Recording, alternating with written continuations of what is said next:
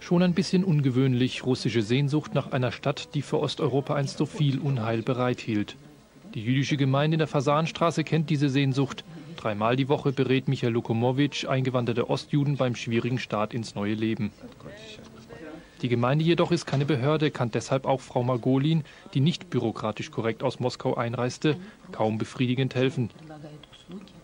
Der Verwaltungsakt, Ostjuden bevorzugt aufzunehmen, bewahrte viele jüdische Gemeinden in Deutschland vor dem buchstäblichen Aussterben.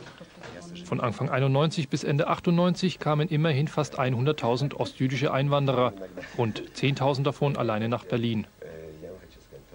Die frühere Mehrheit wurde dadurch in wenigen Jahren zur Minderheit. Zwei Drittel der Gemeinde besteht heute aus Neueinwanderern. Gibt es Ansprüche?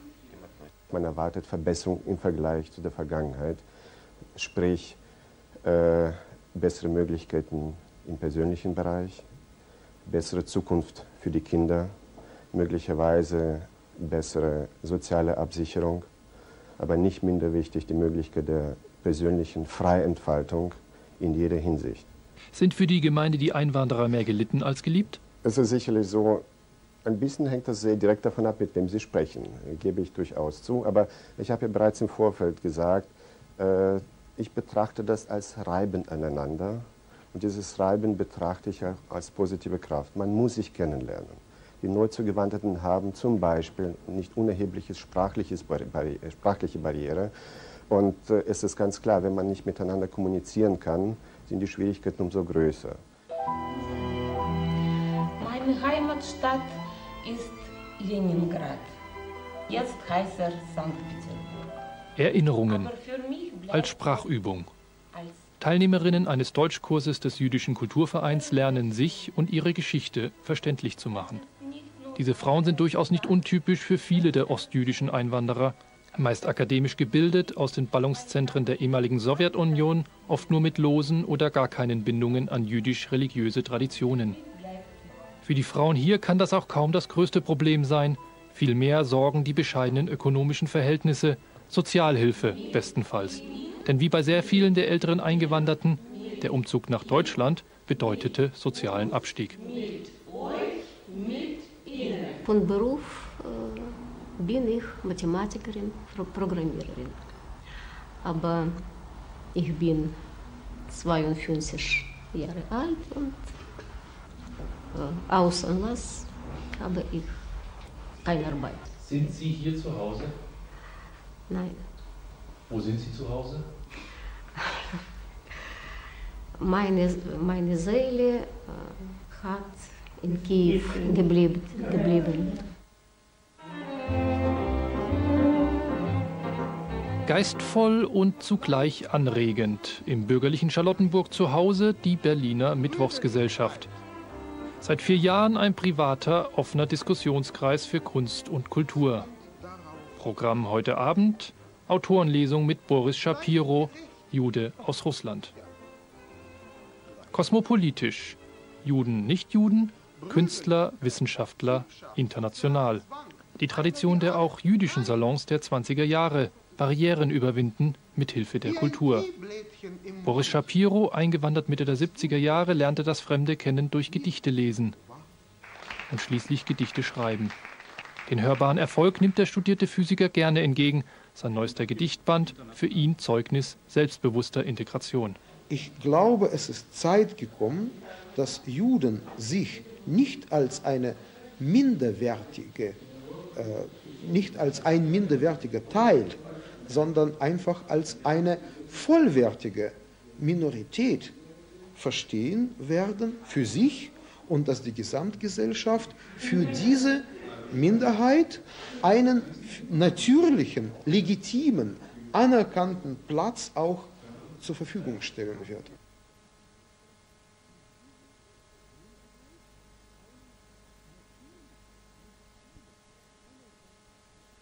Wie wäre es mit diesem Gedicht. Es ist zwar etwas länger, aber für die Zuhörer wäre die Wiederholung nicht unbedingt schlecht. Fein des Jeppel, das ist auch Ja, ja. das Thema.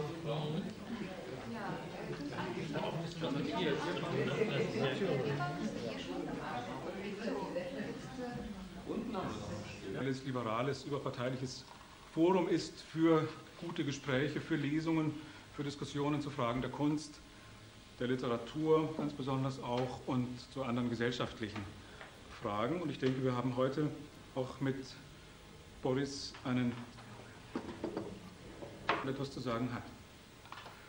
Mein Name ist Winfried Hübschmann. Ich darf aber an der Stelle einfach kurz weitergeben an die Gäste und Zuhörer, damit sie vielleicht ganz kurz etwas zu ihrer Person sagen, zu ihrer Profession, so viel. Ich bin zum ersten Mal hier, kenne aber verschiedene Leute, also nicht nur die Gastgeber Olga und äh, Reinhard, sondern auch den Autor und äh, stelle fest, dass ich also Mitch Cole und ähm, also dass ich hier die Netze wieder zusammenschließe. Das ist wunderbar. Okay. Antonina Ruminina, Saarbrücken. Ich bin in, über 30, 40 Jahre. Und dann, äh, ich kenne ihn in, seine Gedichte seit, auch seit diesem Jahr. Und das freut mich, dass die ganze Gesellschaft heute in einer Lesung kennengelernt, in der jüdischen Gemeinde, Скажите, что вы делаете? Ah, ich übersetze unsere jüdischen Berlin und arbeite Gemeinde vor allem das, was eine wir, von vielen. äh, ja, einer von, einer von einigen, aber einer der tragenden äh, Achsen und ich freue mich sehr, Svetlana, dass es Willkommen werden. Ich bin der Johannes Müller, ich schreibe auch, ich male. Äh, Ich habe jetzt eine Krimi-Komödie fertiggestellt und suche jetzt einen Verlag. Ich habe äh, von dir die Einladung bekommen, Äh, wir haben schon telefoniert. Ich habe auch die literarische Werkstatt Morbid, das ist so eine kleine Literaturecke. Hi, ich bin ganz neugierig, wie äh, Boris Shapiro heute Abend die Gedichte vorträgt. Ich kenne nur einige und darauf freue ich mich jetzt. Ich bin Hella Shapiro. Und zum zweiten Mal zur ähm, Mietshofsgesellschaft. Ich heiße Mitch Cohen, ich bin alter Gast in der Mittwochsgesellschaft. Ich bin Übersetzer. von Deutsch. Ich vor äh, mehreren Jahren in diesem Kreis schon mal gelesen. Ich Profession Schriftsteller, speziell Lyriker und ganz besonders Sonettist. Ja, mein Name ist Jutta Fasse. Ich bin Rhetorik und Kommunikationsgesellschaft dabei. Ich hatte einige Zeit Pause und freue mich heute auch ganz besonders auf die Gedichte von Shapiro. Ich heiße Ina Arlowski, bin eine Schülerin der jüdischen Oberschule. Ebenso bin ich ein Mitglied des jüdischen Kulturvereins und äh, bin erst vor kurzem in den Genuss von Gedichten von Herrn Shapiro gekommen und noch sehr viel Spaß dabei. dabei sind. Ich bin für ein Jahr am Wissenschaftskolleg und hatte das große Glück, gleich zu Beginn meines Jahres hier im September die Shapiro seine Stimme heute Abend hier zu hören. Danke sehr. Ich möchte an dieser Stelle nochmal kurz das Wort geben an Herrn Dienemann vom ZDF. Ich freue mich nochmal, dass Sie mit Ihrem Team hier sind und uns auch äh, die Gelegenheit geben, die Mittwochsgesellschaft auf diese Weise äh, darzustellen. Sagen Sie doch einfach aus Ihrer Sicht, was Ihr Anliegen heute hier ist. Also mein Name ist Michael Wiedemann vom Zweiten Deutschen Fernsehen, der Redaktion Schwarz-Rot-Bunt. Schwarz-Rot-Bunt ist ein Magazin, das früher Nachbarn hieß. Äh, Es ist das Migrationsmagazin des ZDF. Es gibt den ganzen deutschen Fernsehen ein wenig angeregt durch die Diskussion um das Mahnmal, die Diskussion um Walser, die Diskussion um äh, NS-Zwangsarbeiterentschädigung. Äh, wir wollen der Sendung ein bisschen nach vorne gucken, die Perspektive nach vorne richten und schauen, was ist, was passiert in Berlin, was ist äh, da am jüdischen Leben in Berlin und wie wird sich das weiterentwickeln. Und äh, bin sehr froh, dass es, dass es uns erlaubt ist, heute Abend in diesem sehr illustren Kreis dabei zu sein, um einen Teil, den wir glauben, der ganz interessant und ganz wichtig ist, ein bisschen zu dokumentieren, nämlich etwas, was sich so ein bisschen über die Grenzen hinaus bewegt. In, wird sich das diversifizieren oder wohin geht es? Äh, Das ist der Ansatz, den wir hier so ein bisschen versuchen äh, einzufangen und ich hoffe mit dem einen oder der anderen nachher noch zwei, drei Worte wechseln zu können, um so ein bisschen die Breite auch die heute ja hier versammelt ist, ein bisschen. Okay. Ja, vielen Dank, Herr Sie sind ebenfalls Mitglied des Teams, richtig? Schriftsteller und das ist auch gleichzeitig ein Ansatzpunkt natürlich für die Diskussion insgesamt. Und ich darf vielleicht die wenigen Zeilen korrekt so vorlesen, wie sie hier stehen. Das Zentrum der Schriftsteller im Exil, deutschsprachige Länder im internationalen Pen-Club nimmt sich die Ehre, Sie, Herr Dr. Boris Shapiro, für Ihre, äh, Ihr literarisches Engagement und Ihren Einsatz für die Charta des internationalen PEN, jedoch besonders für Ihr Werk Der Ausflug, ein lyrisches Kammerspiel.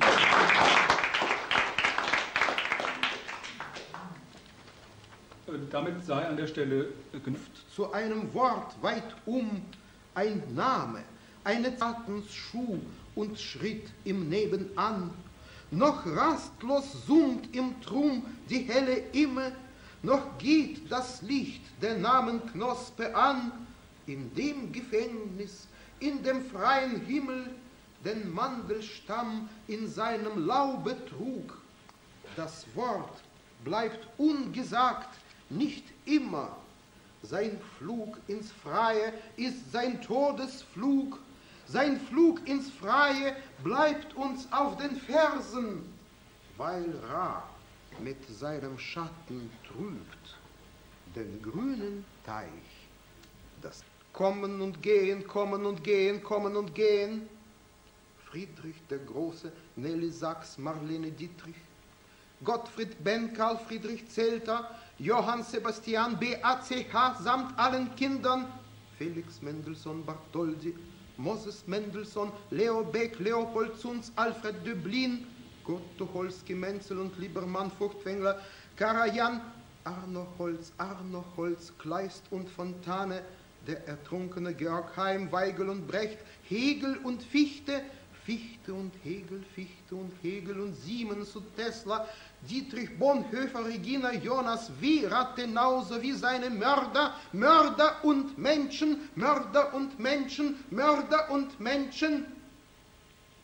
Sind Mörder Menschen oder sind Menschen Mörder? Geschieht.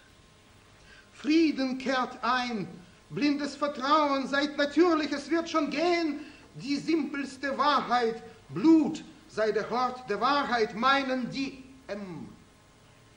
Nicht Kultur bringt die Vernunft, sondern Natur, nicht Wasser, sondern das Blut, sagen einige, mm, die Berliner.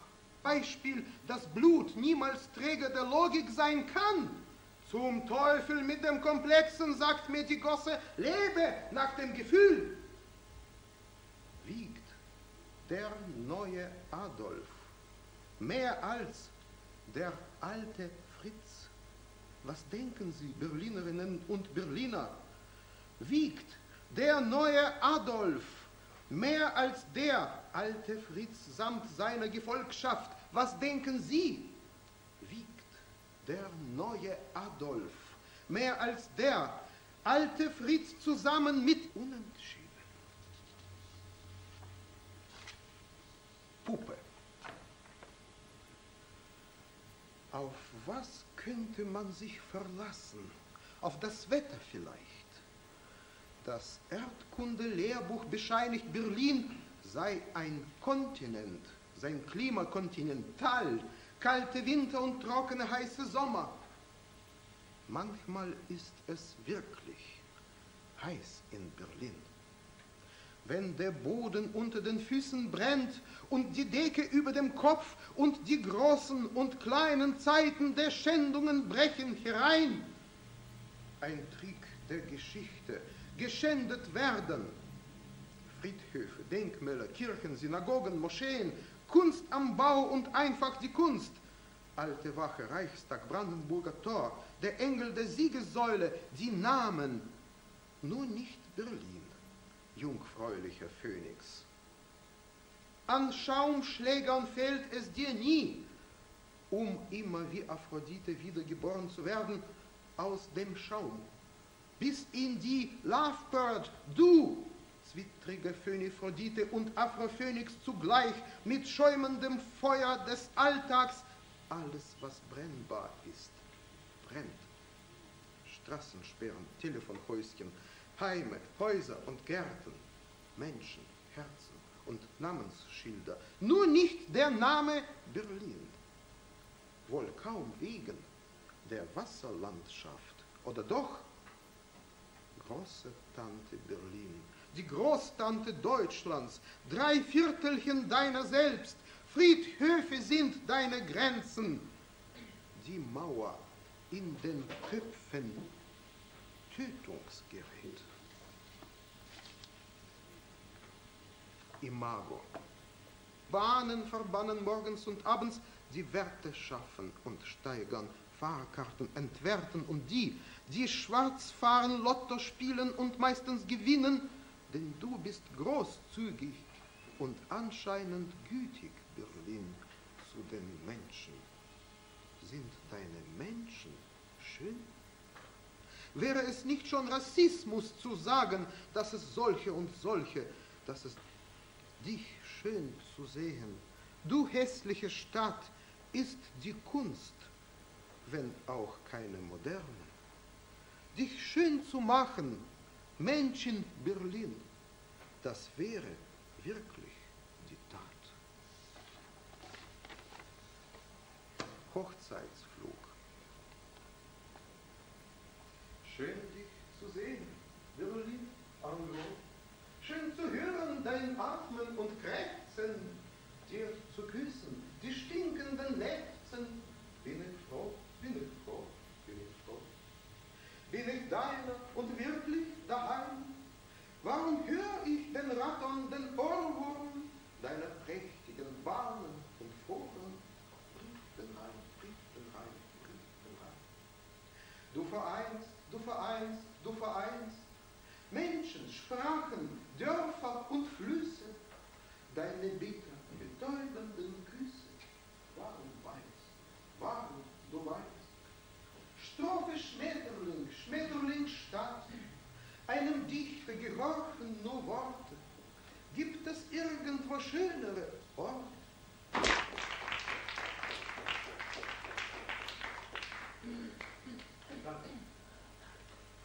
Nun,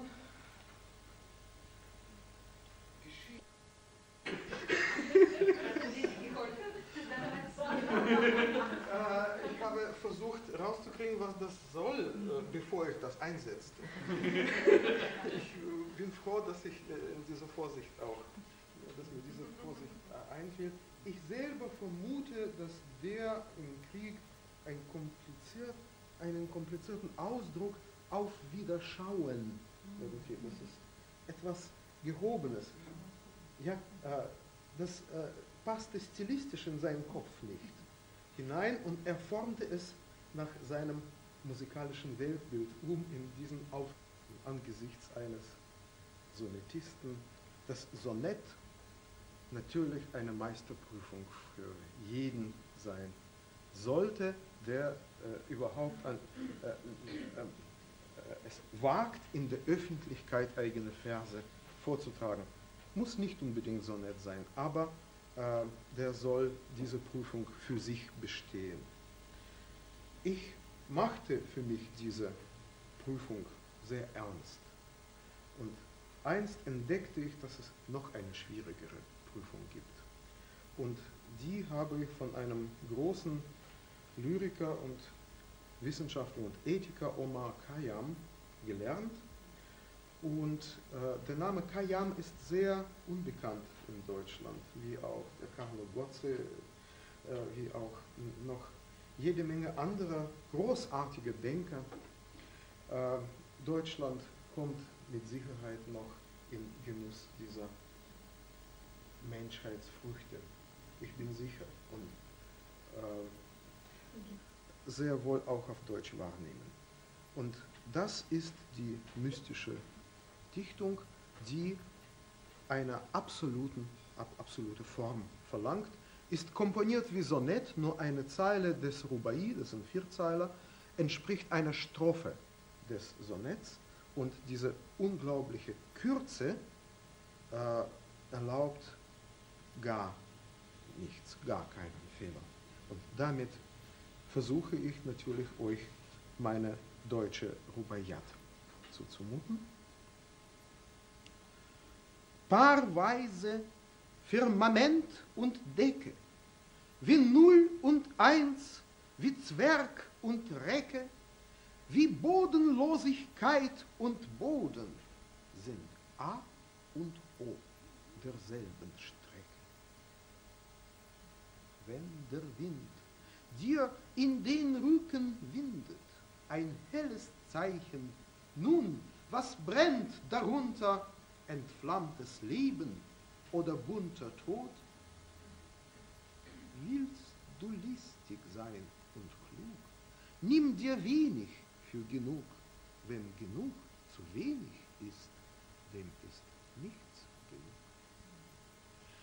genug. Nur dazu ist der Tod nicht schlau genug, den Spuk zu nehmen mir das Stückchen Glück, den Specht im Kopf, den Schein mit Fug und Recht zu trennen, echten vom unechten Schmuck.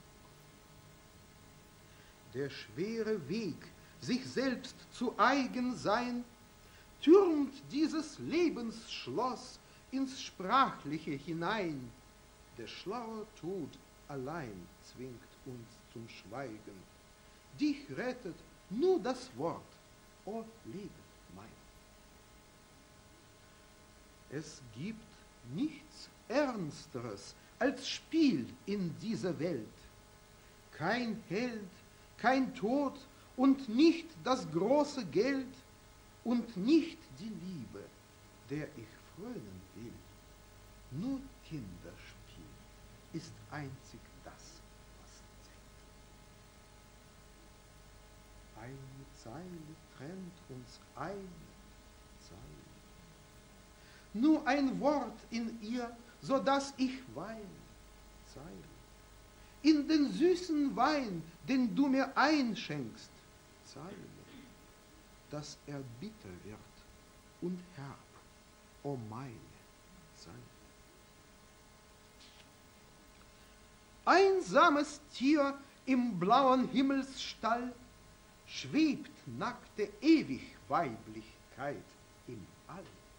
Im Argusauge eine wirre Magd, nur jener Akt, das Mädchen deiner Wahl. Ich frage mich, wie kann das Nichtsein sein? Es muss unmöglich sein, wie Becher ohne Wein. Es muss unmöglich sein, die Liebe ohne dich, wie Licht und Leben ohne Sonnenschein. Was führt der Mensch in seines Namens Schild, gerade wenn sein Schicksal wogt und schwillt? Ob er ein wilder oder milder wird, bestimmt das Göttliche in seinem Menschenbild. Nicht der Fels und nicht der Baum, heiter hingestellt im Raum, bringen dich, mein Reiter, weiter. Nur der Traum, nur der Traum. Hohe Krankheit, ich bin krank, immer mit demselben Klang. Die Welt ist ein Gefäß des Lebens. Mir geht's immer um den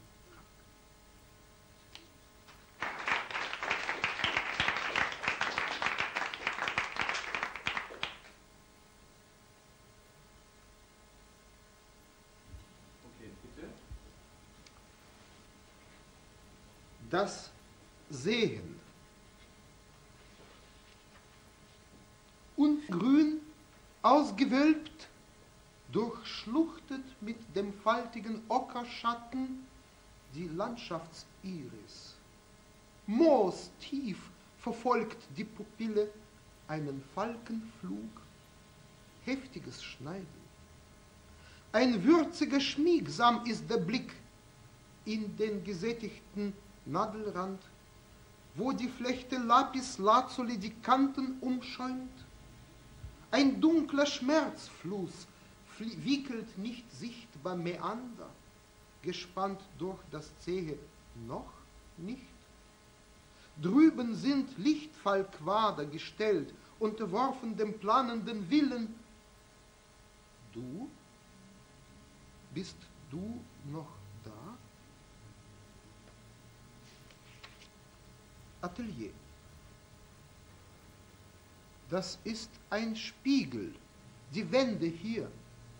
Immer ein Gesicht gegenüber. Das bist du. Vollendung. Durchwebte Leinwandluft, leerer Raum. Das Bild schaut dich an, ein Aug, körperlos, und die Sonne ist schwarz, die gierige Pupille, die angeborene Blindheit. Das Bild guckt dich an, Gesicht. Gravitation ist es, das unaufhaltsame same Ineinanderfallen. Die schwarze Sonne kommt von innen, als Blick heraus, diese Gravitation, die Belebung, das Licht, das körperlose Augelicht, dein Urknalllichtquader, diese Geburt der Blindheit, das Aug körperlos, ein All, Lichtfallquader, der Lichtfall nach innen, ins schwarze Loch der Zeit.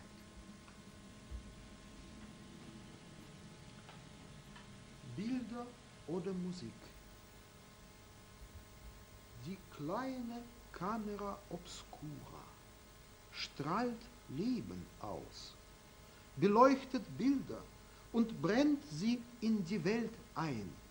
Das Sehen ein Echo des Lichts. Womit aber sehen wir, mit welchem Organ?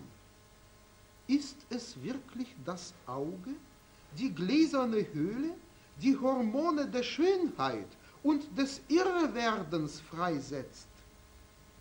Das schöne Auge, das den Schein wahrnimmt, Lügen schluckt und den Selbstbetrug. Womit aber sieht man und was? Wer mit dem Finger sieht, findet den Ring. Wer mit dem Kopf sieht, nimmt Verhältnisse wahr.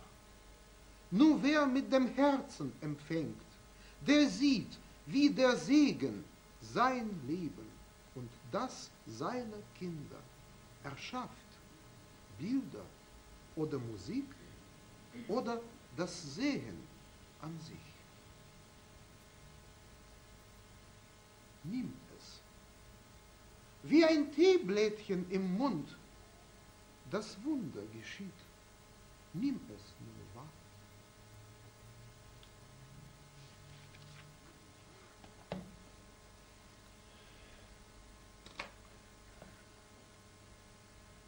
Bevor ich den großen Blog mit Hirik lese, mute ich euch ein paar Gedichte, wie ich es mir vorstelle, vielleicht besonders einfacher Bauart, damit man von,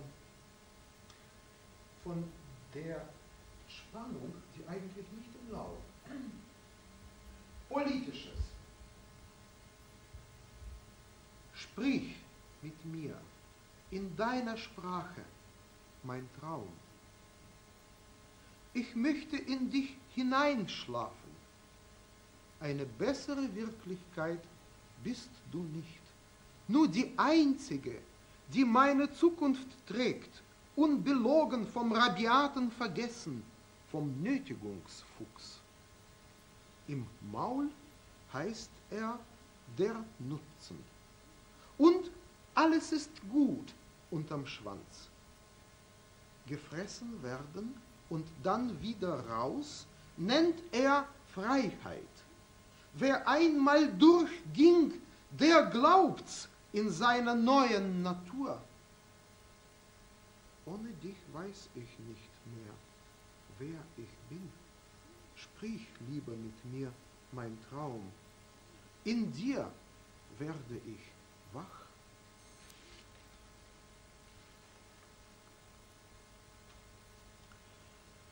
Gleichheit, nein. Brüderlichkeit. Nein, Freiheit. Es kommt darauf an, wofür. Gleichberechtigung. Ja. Gleichheit. Nein. Brüderlichkeit, Siebschaft, sozialer Zwang, einer wie alle. Nein. Würde des Einzelnen. Ja. Würde und Unantastbarkeit. Gleichheit ist tot. Es kann sich nichts mehr bewegen, kann nichts passieren. Wenn zwei Gleiche die Plätze tauschen, ist nichts passiert. Nichts. Freiheit zum Leben. Ja. Freiheit, dieses zu sagen. Ja. Brüderlichkeit. Nein. Brüder töten einander. Brüder töten.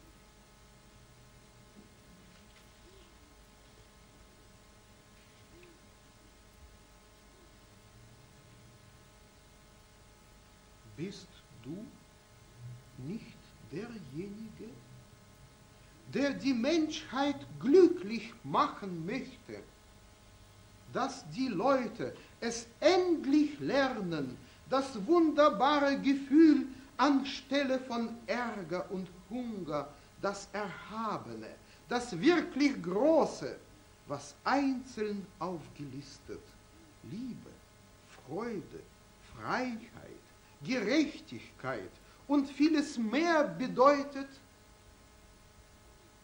bist du nicht derjenige, der alles das den Menschen beibringen will, dass ihr Glück vollkommen sein möge, dass sie, wenn sie zurückblicken und sich an ihre Vergangenheit erinnern, sei es nur für einen Augenblick, an dich mit Dankbarkeit dächten, bist du.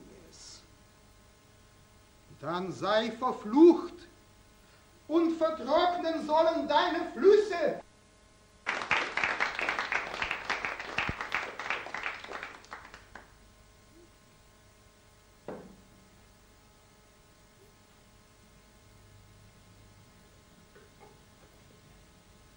Ich lese das Poem Gierig am schwimmenden äh, Werken von Paul Celan, wo er mehrmals mh, diese Wortkombination auch verwendet hatte. Ich erinnere euch daran, dass Celan selbst ein Pseudonym ist, äh, ist ein Anagramm seines Namens Anschel. Und dass Celan leider einer einen Freitod äh, begangen hat, indem dass er in Paris im Jahre 70 von der Brücke in die Seine äh, sprang. Äh, noch möchte ich vielleicht dazu sagen, dass es einen Buchstabe gibt, halt selbst diese Y-ähnliche Buchstabe hat die Form des Bäumchens. Das ist ein Ursprung, ein Keim des Lebens und des Wissens. Fin de siècle. Härter gewordener Zeitgeist, selber bewegt wird er zum Beweger, bleierner Wortgeschmack, Zeitwahn. Blindheit ist seine Gewalt, Genius temporis, empfindbar, nicht definierbar, kommt der Gedanke des Wahns, der das Geschehene zur Geschichte macht. Genius temporis, auch das vergeht. Ein Schrebergärtchen der Zeit, das kleine Eden, Vertreibungsakt heute, selber vertrieben wird er zum Vertreiber, herzlich ergriffen die Hand, Herr der Hölderlin Hegel, Heuschrecken, heuristisch ist Schreckliches heute, die Geisterzeit spukt. Nicht die Schatten des Bösen sind wahnsinnig, sondern du, ja, auch du, der nicht vergehen will. Offenen Augs begegnen wir dem Dauertod. Die Entstehung sieht niemand.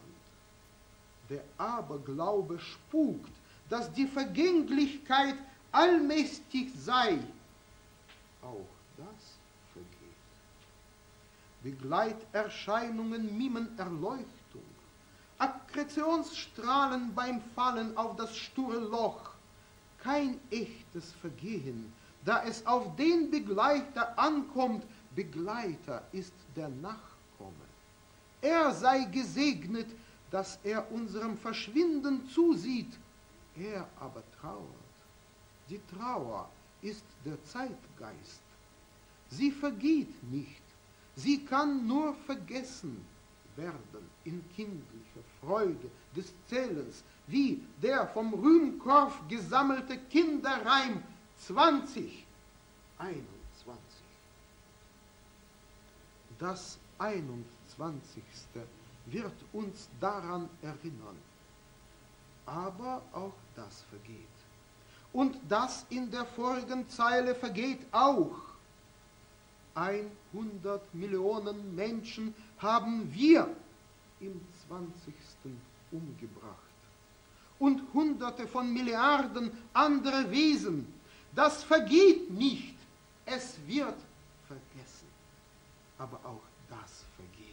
Wie dieses Jahrhundert ins Wort gebissen, das Maul voll Haare. Der gefressene Wolfshound, die Wahrheit ist nicht mehr ertragbar. Der eine Lüge schreiende Mund vergeht auch, doch die Lüge nicht, dass Liebe und Schönheit und Faszination nicht vergehen ins Ungewisse hinab. Die Seele, jede Gemütlichkeit und des Wohlbefindens, die Tautologie, nicht die Angst vor ihr, sie spricht mit dem schwarzen Kerl tät a tät und wärmt sich an seinem Akkretionsnimbus, sein Orakel verteilt Feigen als Ohrenfraß. Zeitgeist ist's, den Eigengestank zu erkennen und den Eigenekel. Ins Ungewisse hinauf. Fin de siècle, den Feigenbaum der Erkenntnis entlang in zweifelnder Dualität. 21. Guten Fang der undefinierbaren Seele im wohldefinierten Leib. Ja, Bathshebas Sohn, das Vergehen bleibt.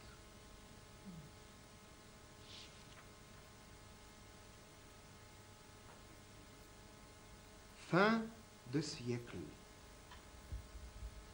Härter gewordener Zeitgeist. Selber bewegt wird er zum Beweger, bleierner Wortgeschmack, Zeitwahn. Blindheit ist seine Gewalt, Hebens Temporis.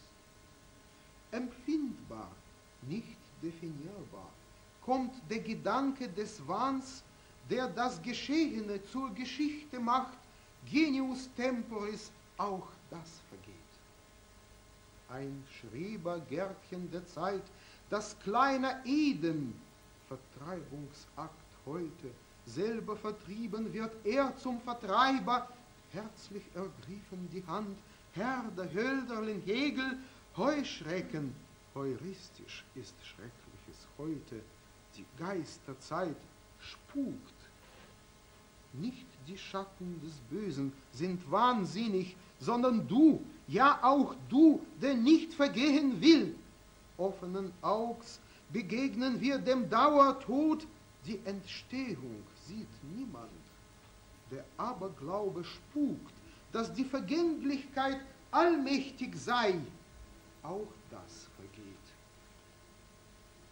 Begleiterscheinungen mimen Erleuchtung, Akkretionsstrahlen beim Fallen auf das sture Loch, kein echtes Vergehen, da es auf den Begleiter ankommt. Begleiter ist der Nachkomme. Er sei gesegnet, dass er unserem Verschwinden zusieht. Er aber trauert. Die Trauer ist der Zeitgeist. Sie vergeht nicht, sie kann nur vergessen werden.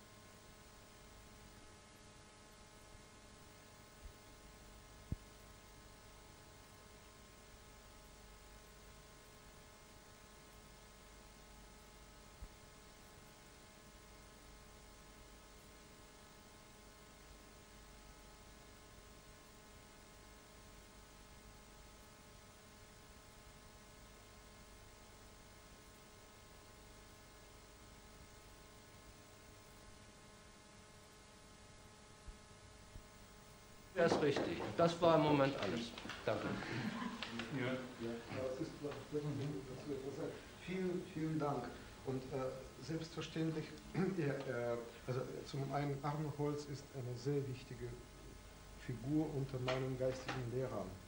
Äh, zum äh, bin ich im Exil. Und solange ich Lyriker bin, das heißt Poesie schreibe, bin ich im Exil, weil ich in einer Fremdsprache schreibe. Und zwar unabhängig davon, ob äh, Russisch, auf äh, Deutsch. Denn ich erlaube mir hier zu sagen, dass es meine Überzeugung ist, dass Poesie ist dazu da, um das Unsagbare gesagt zu haben. Und dann heißt die Grenze des bereits Erreichten. Übrigens auch der nationalsozialistischen Euthanasie zum Opfer fiel, äh, hat den Satz geprägt, Traumverdauung meiner Seele. Das heißt, damit sind die realen Träume, die wir nachts wahrscheinlich mehr oder weniger alle träumen, gemeint. Und da frage ich Sie, wenn Sie träumen, träumen Sie Deutsch oder Russisch? Äh, ich weiß es nicht. Äh, wenn ich träume, so sind meine Träume so realitätsnah, dass ich eigentlich nicht weiß, träume ich oder liebe ich das, was ich träume durch. Und äh, das kann dann Deutsch oder Russisch passieren. Meine Träume sind nicht äh, einer Nationalsprache äh, verbunden, sondern einfach dem Leben. Und Wenn ich da nachhaken darf, Ja, äh, wenn Leute in ihren Träumen sprechen, was sprechen sie? Unterschiedliches oder? äh, ja, äh, je nach Situationen, das, äh, das kommt wie im Leben. Also sehr wohl träume ich Deutsch wahrscheinlich, wenn, wenn ich äh, im, im, im Traum äh, jemanden treffe, mit dem ich Deutsch gesprochen habe. Ich kann mich daran erinnern, dass du immer wieder mal erzählt hast, in der ersten Zeit in Deutschland vor allem auch Dichtung gelesen zu haben, auch um die Sprache dir anzueignen. So war das doch wohl. Und welches waren da die wichtigsten Dichter und wie hat sich das für dich und für die dichterische Arbeit ausgewirkt? Ich bin außerordentlich sprachunbegabt. Bitte, das ist keine Pose, das ist mein Leiden gewesen. Und ich hatte eine große Barriere vor, vor, vor der deutschen Sprache, weil das, was ich hörte, mir prosodisch, nimmt es mir nicht übel, widerlich war. Ich konnte es nicht verdauen, eine sehr lange Zeit. Und dann habe ich mir einen eigenen Weg in die deutsche Sprache gefunden. Ich nahm, äh, bevor ich Grammatik kannte, bevor ich Sprachunterricht bekam, ich nahm das wunderbare Buch, das heißt das große deutsche Gedichtbuch, herausgegeben von Konradi. Und ich fing an, von Anfang an, vom Mittelalterlichen, ganz systematisch mit dem äh, Organ der Geduldsamkeit arbeitend, das heißt mit der Stelle, auf der man sitzt, äh, fing ich an, das mit einem Wörterbuch zu übersetzen. Und äh, als ich ungefähr ein Drittel des Buches durchgearbeitet hatte, äh, so ging es dann schon sehr leicht. Und ab dem dritten Drittel fing ich an, Nachahmungen zu schreiben und äh, mich mit, mit den Lehrern aus diesem Buch auch zu messen und zu vergleichen. Und so war mein Weg in die deutsche Sprache. Durch rigorose Studium der, deutschen, der deutschsprachigen Lyrik und durch Nachahmungsarbeit. Ich möchte dazu noch aus der persönlichen Erfahrung eine kleine Anekdote anmerken. Konradi ist ein ganz außergewöhnlicher Germanistikprofessor. Äh, Also solche Gestalten können Sie mit der Lupe suchen. Äh, Ich hatte äh, nach dem Erst, der Erstausgabe seines, seiner großen Anthologie annimmt. Und ich hatte auch nie, später nie wieder Kontakt mit ihm. Und zu meiner größten Verblüffung, in der zweiten äh, überarbeiteten Ausgabe stehen zwei Sonette von mir drin. Nicht? Also sowas, äh, so eine, eine, eine, äh, ein Nicht-Nachtragen, ein, ein nicht persönliches äh, habe ich Konkrete. Ich ganz konkrete, also in gestohlen. dies, dieses Buch arbeite ich durch. Ja. Und äh, die Tochter erbte es. Ganz klar. Und das ist mir lieb und teuer, dass äh, das ist tatsächlich die Seele, das ist tatsächlich die, das Sein des Deutschen. Nicht die, die, die Glatzköpfe, äh, nicht die äh, Euthanasiemeister. Nein, das ist das Deutsche für mich. Und, äh, auch auch äh, die Wurzeln des Übels, auch die sind drin. Ich weiß nicht, kann ich euch noch ein Gedicht zumuten? Vielleicht? Leonie, hilfst du mir? Ja, wenn ich kann. Ja, du kannst. Äh, Einfach drauf los, äh, auf, aufgesaugt, soweit es ging. Äh, äh, Heimat, äh, um zu der Frage zurückzukommen, ist es bei mir gar nicht geworden. Im, äh, im Gegenteil, es hat eher meine Heimatlichkeit in Englisch aufgeweicht. Ich habe angefangen, mein Englisch zu, ler- äh, zu verlieren, äh, ohne wirklich heimisch in Deutsch zu werden. Äh, aber äh, mit Kommando, ich denke, Deutsch ist eher eine Bürokratiesprache. Es ist nicht so. Es hat was von Kommando, aber noch stärker, noch stärker die Bürokratie. Äh, äh, schon in, in, in, der, äh, Wort, in den Satzbau, dass alles erstmal nach hinten geschoben wird äh, und etwas in die Mitte genommen wird.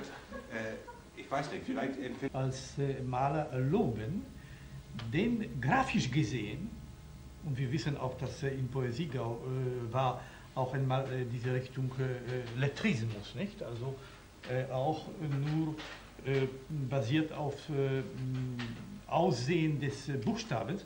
Also was interessant ist in deutscher Sprache, und ich glaube, das ist die einzige Weltsprache, die das hat, das sind die Substantive groß geschrieben. Also wenn wir äh, haben eine, eine Seite, dann sehen wir also, was tatsächlich wichtig ist, ja, sofort. Man, man braucht diese, äh, dieses alles nicht. Sehr wichtig, ja, sehr wichtig. Die Namen nicht nur, aber Substantive, das ist sozusagen dieser Kern der Im Sache. Englisch nur I. Ja? Diesen großen Vorteil wollen ja diese dümmlichen Rechtschreibreformer zerstören. Das ist natürlich ein großer Vorteil. Wenn ich das Wort Flo, wenn ich konsequent klein schreibe, kann ich das Wort Floh nicht, nicht verordnen in bestimmten Zusammenhängen. Eben. Weil ja auch der Floh oder, oder die, die Vergangenheit Und, und, und zweite interessante Eigenschaft der deutschen Sprache, äh, das ist diese Tendenz, die F- F- F- äh, Fusion, also die Worte zusammen äh, verschmelzen und kleben und da gibt diese Schiff, Donau, ich weiß nicht, Schiff, Schifffahrtsgesellschaftskapitän. ja, ja, das. ja, äh, und übrigens, Sie, Sie sagen, dass das gibt gewisse. Also diese Wort Jein zum Beispiel, ja. Äh, Also äh, das gibt nur äh, Ähnliches in die italienische Sprache, nämlich, nämlich nie. Fusion von äh, si und äh, no. Also nie. Aber sonst finde ich das auch sehr In interessant. der Zeitung der letzten Sonntagsausgabe stand zu der ganzen Rechtschreibreform ein treffliches Zitat eines irakischen Germanistikprofessors. Den Namen habe ich natürlich vergessen, den habe ich zum ersten Mal im Leben gehört. Der sagte folgendes. Also da, dagegen, dagegen äh, dass, dass man sagt, äh, Deutsch sei eine bürokratische Sprache oder Deutsch sei eine militärische Sprache. Ich, ich glaube, äh, ja, ich, ich denke, es hängt wirklich davon ab, was wir daraus machen, jetzt in der Zukunft. Das ist Also, ja gerade die Aufgabe der Poesie, diese Sprache zu entbürokratisieren und entmilitarisieren. Ja, ja. Und, und diesen Aspekt, den kann man gar nicht äh, oft genug äh, aussprechen, dass es wirklich von uns allen abhängt, auch von den in der Verwaltung Tätigen, auch in, äh, von den Militärs, auch von den Dichtern, äh, von den Lehrern und Pädagogen, was wir aus der deutschen Sprache machen. Also mir gefällt es eigentlich manchmal gar nicht, wenn wir Deutschen immer so tun, als seien wir alle noch schuldig. Ich bin 55 geboren, ich bin einer jener, der unter die Rubrik Gnade der späten Geburt fällt. Und ich freue mich drüber, muss ich sagen. Ich habe also nie dieses äh, äh, Kollektivschuldangebot angenommen, was uns die ältere Generation so gerne auf die Schultern gelegt hätte, weil ich, ich habe mir immer instinktiv gesagt, ich habe mit der ganzen Sache nichts zu tun. Und so sehe ich auch die Sprache. Also ich meine, es wird langsam Zeit, dass wir alle, Amerikaner, Russen, die ganze Welt eben auch anerkennen, dass unsere Generation jetzt äh, die das Zentrum von Deutschland ausmacht und äh, dass wir eben halt auch, äh, glaube ich, gefordert sind, aus der Sprache was zu machen.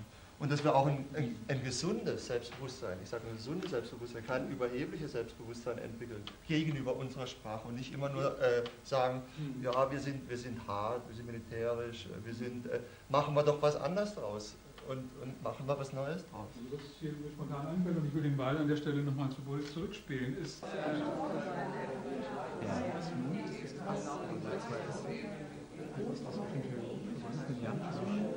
Ehefrau. Na siehst du, haben wir es schon. der Ägyptologe, der berühmte. Brillante Kopf.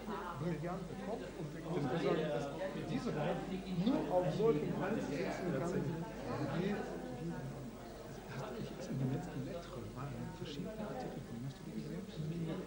Das war, also mit das, das war eigentlich der Grund, warum ich nach unten gefahren bin.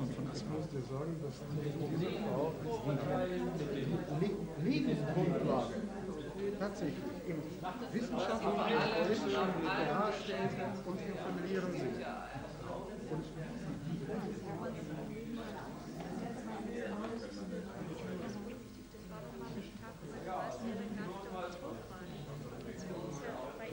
Sie müssen jetzt schon sprechen. Heute Abend? Heute Abend? Nee, übermorgen. Dann mag ich morgen. Dann hat er sicherlich mehr. Wie lange werden Sie in Berlin bleiben? In Deutschland? Ach hatte danach noch, ja. Mhm. Ich dachte, das, das war jetzt eine Folge der Übersiedlung.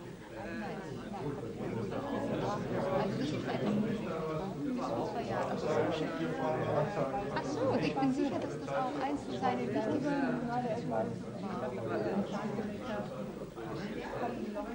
Im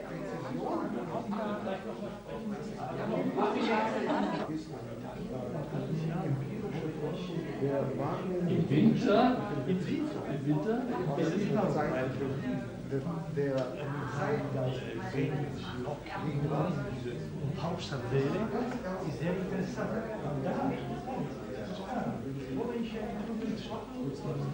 Standard. Bei, bei Pi. Und das ist Touristen weg sind, ist es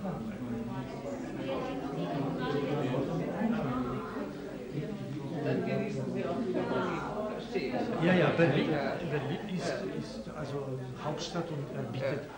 Und übrigens wissen Sie solche, solche einfache Tatsache, dass man wird angerufen von, von Freunden, Freunden. Das ist schon wichtig. Man fühlt sich nicht so sozusagen eingeladen. Das ist eine wichtige Sache. Wie würden Sie sich denn heute selbst definieren? Als was würden Sie sich denn bezeichnen? Sind Sie jetzt nicht vom Beruf, sondern Sie kommen aus der ehemaligen Sowjetunion, glaube Nein, nein, ich komme aus Polen. Aus Aus Polen. Polen, ja. Leben teilweise in Berlin, leben teilweise in Italien, sind Jude, sprechen Also, Deutsch äh, und mehrere. Fragen. Ich äh, fühle mich eigentlich äh, äh, Pole, obwohl ich habe äh, deutsche und jüdische Blut auch. Aber ich bin, ja, also das, was sagte Kollege, nicht? Also, aber meine Kultur ist eigentlich polnische Kultur. Und äh, insofern, aber wenn ich äh, wurde so gefragt, auf diese Frage könnte ich sagen, dass ich mich einfach äh, Europäer äh, fühle. Mein Leben mit meinem Gepäck sozusagen, äh, das wäre eine richtige Antwort. Sie kennen das vielleicht auch. Man, es gibt in, in, durchaus auch gewisse Vorbehalte gegenüber osteuropäischen Juden, die eingewandert sind. Auch Vorbehalte innerhalb der schon in äh, Deutschland lebenden Juden. Es gibt da Streitigkeiten. Haben Sie das so erwartet, als Sie hierher kamen, dass das sowas gibt, dass es da durchaus auch Animositäten gibt? Ich war neugierig, wie gesagt, denn äh, aus äh, väterlicher Seite, mein Großvater war äh, Deutscher aus Hannover äh, und ich äh, äh, habe deutsche Namen. Und das brachte mir auch in Polen viel, viele Schwierigkeiten. Ja. Also ich war nicht vorbereitet an Verfolgung eigentlich. Erst danach habe ich das äh, äh, hier erfahren durch meine eben nicht perfekte Sprache. Und äh, da habe ich sogar eine solche, äh, solche kleine mh, sozusagen äh, Witz oder ich weiß nicht Scherz gemacht. Ich spreche nämlich sehr gut Französisch. Und ich habe im Bar oder zwischen Menschen so getan, als ich Franzose wäre. Und da habe ich festgestellt, dass ich treffe ganz andere Deutsche als dann, wenn ich mich als Polen vorstelle. Verstehen Sie? Dann sage ich immer äh, den Emigranten, äh, dass du triffst solche Deutschen, die dich zugeordnet sind. Ja? Das heißt, du triffst Welt solche, die du die mit, mit, deiner, mit deiner Vergangenheit, mit deiner Identität trägst. Ja? Verstehen Sie? Ja, ich weiß. Boris macht das auch. Ja, ja sicher.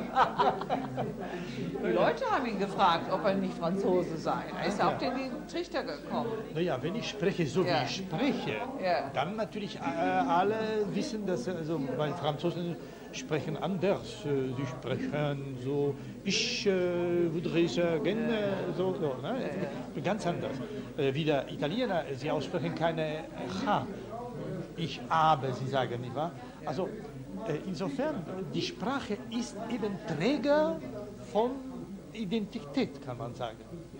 Ist erste Erkenntnis, wer bist du? Ja, wer bist du? Wenn Sie schon jetzt äh, fast 20 Jahre, nein, 10 Jahre hier sind, nein, 20 Jahre, nein, fast 20 Jahre. Schon, äh, mehr, ich bin schon äh, 19, also 17 Jahre. Ja die Situation hier in Berlin kennen. Berlin ist in einer Aufbruchstimmung für Deutschland, für Europa. Die Politik kommt hierher, jüdisches Leben formuliert sich hier in Berlin. Was, was erwarten Sie denn für die nächsten 20 Jahre? Was wird, besonders was das jüdische Leben anbetrifft in Berlin, was wird sich daraus entwickeln? Wie wird das werden? Wird es, wird es ein von vielen eingewanderten Ostjuden beherrschtes jüdisches Leben sein? Wird es ein ganz anderes sein? Wird sich etwas Neues formulieren nach, anderen, nach neuen Kriterien? Was erwarten Sie denn? Also, äh, wissen Sie, ich äh, bin kein Prophet. äh, ich, das ist eine sehr schwere Frage. Und ich könnte nur sagen, dass ähm, äh, meiner Meinung nach eben in Deutschland äh, kann man nicht erwarten, äh, das, was schon einmal in Europa war. Denn in gewisser Weise, die Deutschen sind schon, äh, entschuldigen, das ist vielleicht nicht passende Wort, aber in gewisser Weise schon geimpft. Ja? Es war hier einmal äh, Holocaust, es war Verfolgung, es war diese, äh, äh diese, diese, diese chauvinistische Wahnsinn, und ich glaube, das wird nicht mehr sein. Währenddessen vielleicht in andere Länder könnte, könnte, obwohl ich glaube äh, nicht, aber könnte das äh, sein. Welche Art von jüdischem Leben erwarten Sie sich in Berlin? Welche, wie, welche Art, wie wird das sein? Man redet immer davon, also, dass Berlin in einem Aufbruch wäre. Es würde sich kulturell irrsinnig viel tun. Man, man Manche äh, sehen schon die Rückkehr der großen jüdischen Tradition, die es mal in Berlin gab. Äh, ist das richtig oder was, was erwarten Sie? Was wird in den nächsten 10, 15 Jahren passieren? Also das äh, natürlich zeigt äh, die Zeit, weil ich glaube, dass in Berlin ist alles möglich. Berlin ist offen, alle kommen nach Berlin. Und damals war das eben eine kleine Insel wo junge, junge Leute sind nur darum gekommen, weil sie wollen von äh, Armee flüchten, nicht wahr? Jetzt alle wollen nach Berlin. Und äh, Berlin wird wahrscheinlich das, was äh, er damals war, nämlich eine große Metropole und offen für alle Kultur, Kulturen der, der, der, Welt. Was würden Sie sich wünschen für, das, für die Entwicklung jüdischen Lebens in, in, in Berlin? wenn, sich, wenn Sie es wünschen könnten, wie es sich entwickeln sollte, was, wie würden Sie es gerne sehen in den nächsten zehn Jahren? Ja, also Ich äh, würde sagen, dass ähm, äh, hier mehr äh, Möglichkeiten für äh, eben äh, Theater, äh, äh, Publikationen und Galerien entsteht. Und das haben wir schon, ich glaube, in äh, Friedrichstraße zum Beispiel, nicht? diese Schaufenster. Und ja, ich finde, dass das eben äh, wäre äh, wirklich wichtig, dass eben die Medien äh, sind äh, noch offener, noch, äh, noch äh, mehr arbeiten in diese Richtung. Beuermann. Beuermann. Gibst es doch mal schnell aus, nur den Namen, damit ich das nachher weiß, wenn ich Beuermann. Ich ausspreche das sehr gut. Weil äh, Russisch nämlich, das wäre Andrzej. Andrzej. Andrzej. Aber Polnisch ist Andrzej. Andrzej Beuermann. Sehr vielen Dank.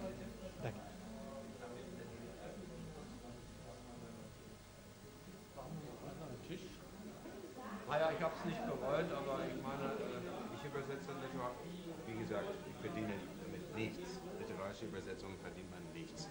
Äh, aber es macht Spaß. Es macht Spaß. Mir hat es auch Spaß gemacht. Ja, ich habe äh, ja, dadurch erst mal richtig Italienisch gelernt, kann ich sagen. Nicht? Und äh, äh, ja, bloß ich meine, man wundert sich ja zum Beispiel, wenn man also als Otto Normalverbraucher irgendwelche technischen Geräte aus Südostasien, Hongkong oder Thailand oder sonst woher oder Taiwan nicht über die sogenannten Gebrauchsanweisungen, über die Übersetzung.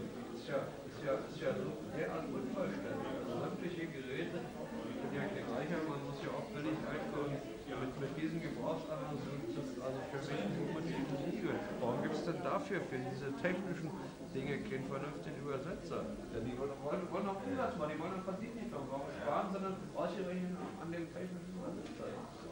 Wenn es, wenn es Ihnen interessiert, ich weiß etwas davon. Ich habe einen Freund, der hat in Japan gelebt und er sagte, äh, in Amerika, und er sagte, in Japan, es muss nicht überall in anderen Ländern so sein, aber in Japan ist das so. Äh, eine Firma, der Chef ist nicht das Wichtigste.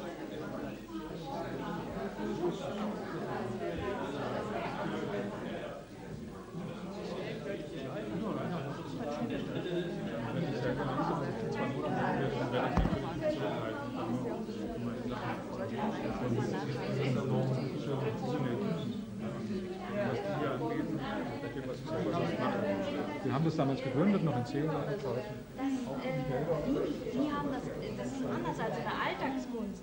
Von einem Schaffner. Der Schaffner ist immer nur Kontrolleur. Aber die Schauspielkunst ist, kannst also im Ich habe mit Faszination Hölderlin gelesen, auch auf, auf Russisch, ja? Nein, nein. Äh, Schreiberle. Okay, von einer Dame nehme ich es lieber. Das habe ich mir gedacht. Keine Chance. Da hat man keine Chance. Nein, hat man kein, als Mann hat man keine Chance, ja, das ist klar. Jute, äh, ich weiß deinen Nachnamen nicht richtig. Nein, musst du nicht. Okay, dann schreibe ich, ja.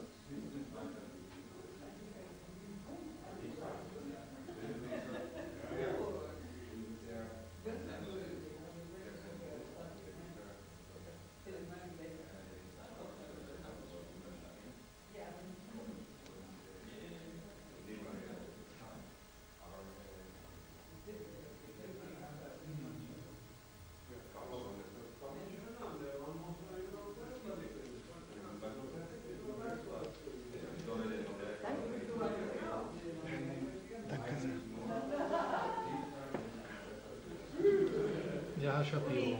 Ja. Herr Shapiro, Sie haben jetzt schon etliche Jahre Erfahrung in, in Deutschland, äh, erst im Süden, äh, dann in Berlin. Sie kennen die Szene hier auch so ein bisschen. Was glauben Sie denn, ist denn immer noch der Grund, äh, was sind die Vorstellungen für die, die aus äh, Osteuropa als Juden nach Deutschland einwandern? Welche Hoffnungen sind da, welche Erwartungen haben diese Leute an Deutschland oder an Berlin? Äh, es gibt keine, ein, keine Pauschalantwort darauf. Diese Erwartungen sind heterogen, sind sehr unterschiedlich, wie die Menschen, die hierher kommen, auch sehr unterschiedlich im Bildungsniveau, in der Lebensweisheit und auch in der Entscheidungsfähigkeit sind. Und dieses Spektrum der Erwartungen äh, breitet sich davon äh, aus, dass man einige erwarten, dass sie jetzt endlich ein schöneres Leben haben werden für sich und sind sehr oft enttäuscht, wenn sie mit den realen Schwierigkeiten der Integration, der Adoption, des Sprachlernens und des Lebens mit der anderen Mentalität konfrontiert werden. Äh, es gibt natürlich sehr viele andere Menschen, die nicht so kurzfristige Erwartungen haben wie diese Unglücklichen. Äh, bei diesen Menschen mit langfristigen Erwartungen ist auch die Integration, ist auch die Adoption viel, viel leichter und viel weniger dramatisch als bei denjenigen, die unrealistische Erwartungen haben. Und alle Menschen, die hierher kommen, haben auch Erwartungen, äh, dass sie einfach bessere, größere Sicherheit haben. Im persönlichen, im sozialen äh, Bereich. Und diese Erwartungen, dieser Teil der Erwartungen, meiner Meinung nach, wird fast immer tatsächlich verwirklicht. Seit fast zehn Jahren hat man in Berlin Einwanderung aus Osteuropa, besonders in den ersten zwei, drei Jahren massiv, sehr stark. Die jüdische Gemeinschaft in Berlin hat sich wesentlich geändert dadurch. Sie wurde fast verdoppelt. Äh, manche sagen, der osteuropäische Anteil ist quasi die Mehrheit. Was glauben Sie, hat sich denn in der, im atmosphärischen oder im ja, kulturell-sozialen dadurch äh, in der jüdischen Welt Berlins geändert, wesentlich geändert?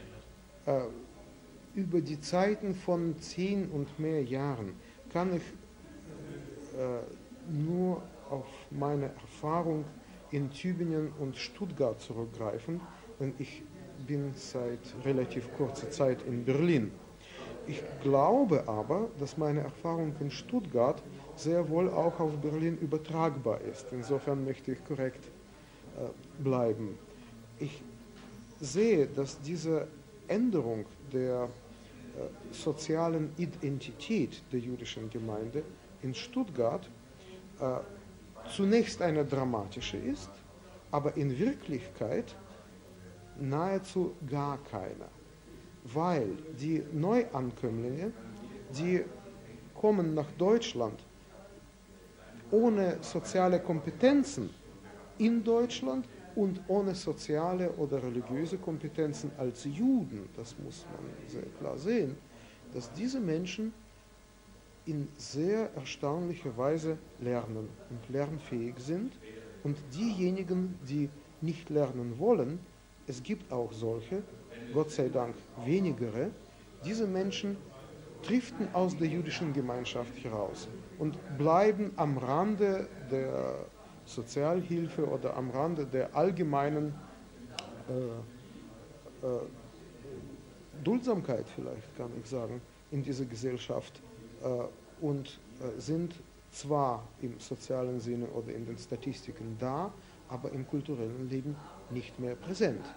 Aus Kreisen oder von Menschen, die mit der jüdischen Gemeinde zu tun haben, der traditionellen jüdischen Gemeinschaft in Berlin, hat man nicht selten auch einen Vorwurf, dass äh, osteuropäische jüdische Einwanderer die Institutionen der äh, jüdischen Gemeinde auch so ein bisschen missbrauchen als eine Art Sozialstation, dass die Anspruchshaltung sehr groß wäre nach dem Motto, jetzt sind wir hier, jetzt sorgen wir mal auch für uns. Haben Sie sowas schon bemerkt und können Sie das?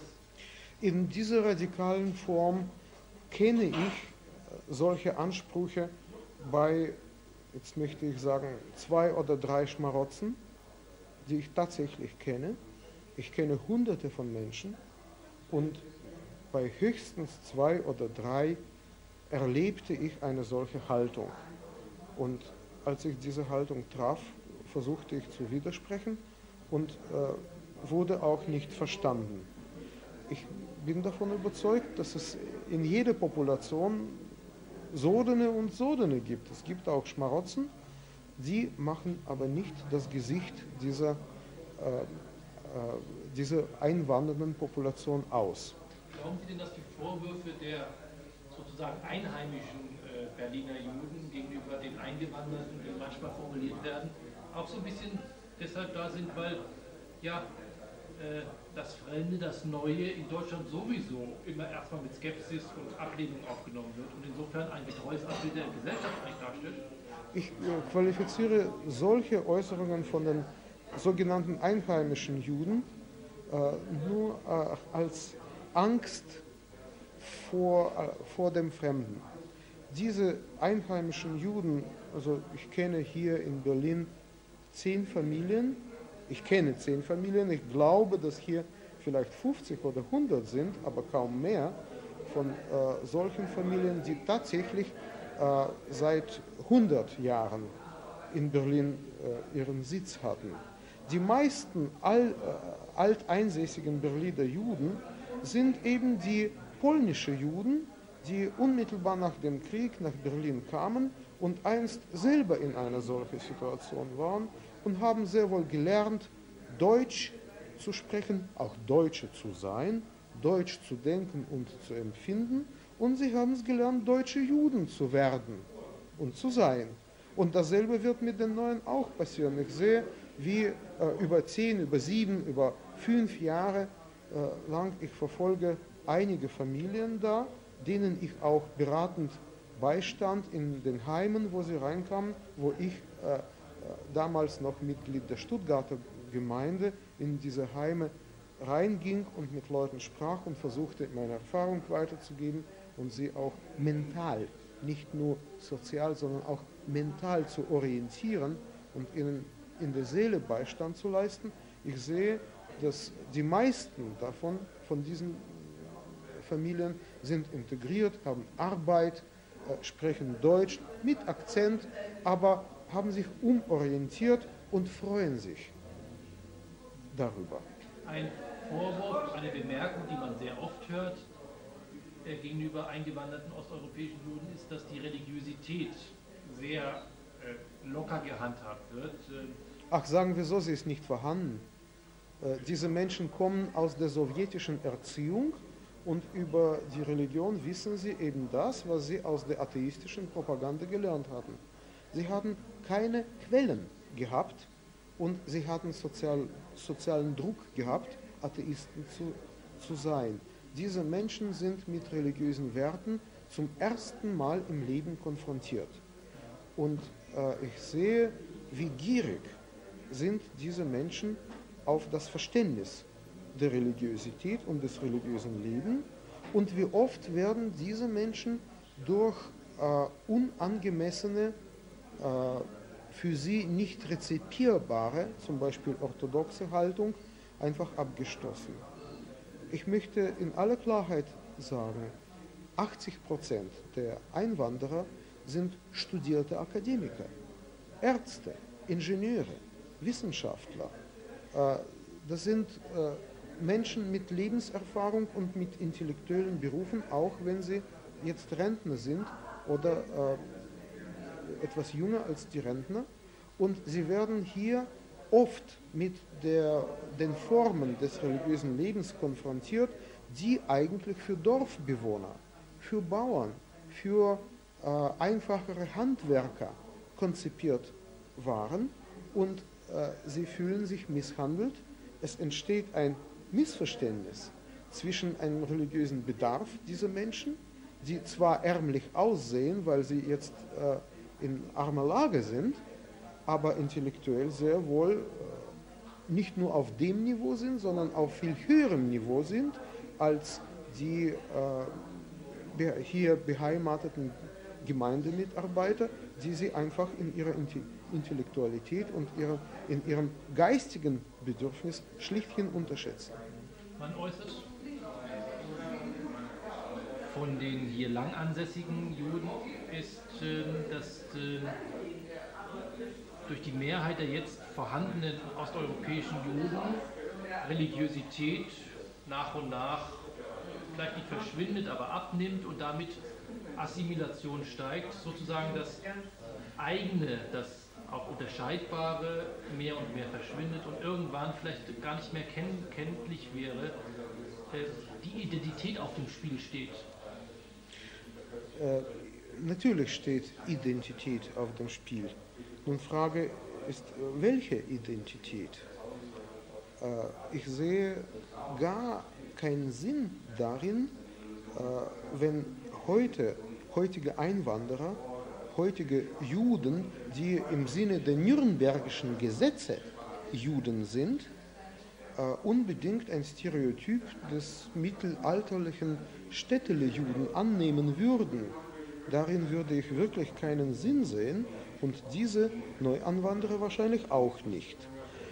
Ich glaube, ich bin davon überzeugt, dass die, diese Juden, die heute mit großem Bedarf und mit großem Sehnen an die Religiosität kommen, dass diese Juden auch ursächlich helfen werden, ursächlich dafür, dafür, dazu beitragen werden, dass die jüdische moderne Identität als neue geistige Bewegung nochmal überdacht wird, nochmal entwickelt wird, dass diese Völkerwanderung auch zu einer geistigen Entwicklung sowohl des Judentums als auch der Gesamtgesellschaft verursachen muss.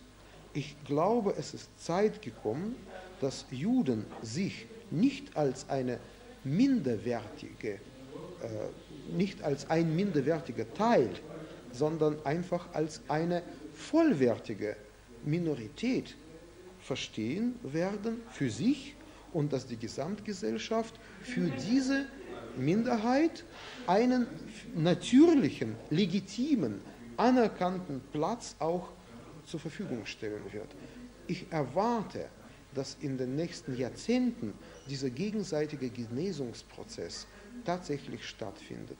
In diesem Prozess würde ich sowohl die neue Identität Bildung sehen für Juden als Juden, für Nichtjuden als die zu den Juden normal stehenden Nichtjuden und darin sehe ich auch die Hoffnung zur Überwindung der Tragödie des 20. Jahrhunderts mit dem Holocaust.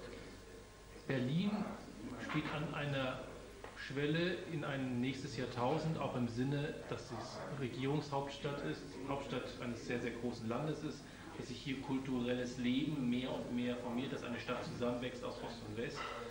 Und auch, wie man immer wieder nachlesen kann, sich jüdisches Leben, so Zitat, wieder neu formuliert, ein neues Erwachen gibt. Was glauben Sie, wird in zehn Jahren darüber zu lesen sein? Wie, in welche Richtung wird es sich entwickeln? Wie wird jüdisches Leben in zehn Jahren aussehen? Wird es eine Normalität sein, wie von vielen gehofft und gefordert wird? Wird es immer noch etwas Besonderes sein? Und in welche Richtung wird es sich formulieren? Erstens glaube ich, dass zehn Jahre eine zu kurze Frist ist. Ich würde zwei Generationswechsel ansetzen, um diese gewünschte Normalität zu erhoffen. Vorausgesetzt, dass keine neuen Katastrophen das wieder ins Rutschen bringen. Äh, diese zwei Generationen Zeit, also schlichthin 50 Jahre, entnehme ich aus meinen Beobachtungen der ähnlichen Entwicklungen im Mittelalter, in der Renaissance, im Vorderen Orient, äh, unter den Seldschuken und äh, man, auch in China, man kennt sehr viele Beispiele, wo man auch nicht unbedingt äh, mit Juden, sondern auch mit Integration anderer Minderheiten äh, Erfahrung sammeln konnte. Äh, das Zweite, ich glaube, dass äh, die ganze Entwicklung in eine gesunde Richtung laufen wird und die gesunde Richtung heißt Diversität und Pluralität. Ich glaube, dass jüdische Gemeinschaft lernen wird und auch verwirklichen wird, eine tatsächliche Pluralität des, der jüdischen Identität innerhalb einer bibelzentrierter oder sagen wir, moderne bibelzentrierter äh, Identität in einem kulturellen toleranten Paradigma. Ich glaube, dass diese Diversifizierung äh, in einer nicht fundamentalistischen orthodoxen Richtung, in einer konservativen Richtung, liberalen, reformierten Richtung, in einer äh, kulturzentrierten jüdischen äh, ethischen und philosophischen Haltung, die immer noch eine religiöse, obwohl dann weniger konfessionelle, aber historisch am Judentum hängende Richtung wird, dass alle diese Richtungen äh, lernen werden, miteinander in Freude umzugehen, wo diese eigentliche Konfessionalität eine Privatsache wird, wie meinetwegen heute irgendwelche Hobbys Privatsache sind oder äh, politische Überzeugungen zwar für die Gesellschaft sehr wichtig äh, sind, aber nichtsdestotrotz äh, Privatsachen sind und sind als solche gewünscht und gefördert. Darin sehe ich die gesunde Entwicklungsrichtung. Und damit möchte ich vielleicht ein Stichwort ins Gespräch bringen. Es gibt so etwas wie innerjüdischer Antisemitismus. Genauso wie äh, ein innerdeutscher Antigermanismus gibt und gab. Und dieser, äh, dieser innerjüdische Antisemitismus äh, äußert sich darin, dass die antisemitische Verhaltensweisen durch Juden und sogar manchmal durch Vereinigungen von Juden ausgetragen werden. Und ich glaube, dass die Gesundung und Genesung sowohl der Gesamtgesellschaft als auch der jüdischen Gemeinschaft in die Richtung laufen wird, wo diese innergemeinschaftliche Fäden tatsächlich bewusst unterdrückt werden. Von Juden und von den Mitgliedern der Gesamtgesellschaft in der Kooperation. Gute, gesunde Ansätze sehe ich in der christlich-jüdischen Arbeit, in der äh, jüdisch-nicht-jüdischen Kulturarbeit. Ich hoffe, dass auch jüdisch-muslimische Arbeit äh, irgendwann anfängt und blüht. Alle Religionen, alle Haltungen müssen sich letztlich auch verständigen können und Platz füreinander möglich machen. Danke sehr für Ihre Frage.